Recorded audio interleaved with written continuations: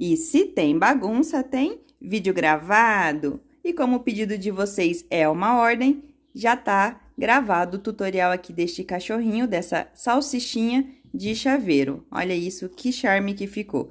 Esse daqui eu não coloquei o lacinho, e esse daqui, no meio da gravação do vídeo, eu resolvi fazer esse lacinho para mostrar para vocês. Um amor, né? O vídeo vai ficar disponível no meu canal esta semana, quinta-feira. Então, se você ainda não for inscrito, já se inscreve no canal e ativa o sininho para ser notificado assim que ele ficar disponível.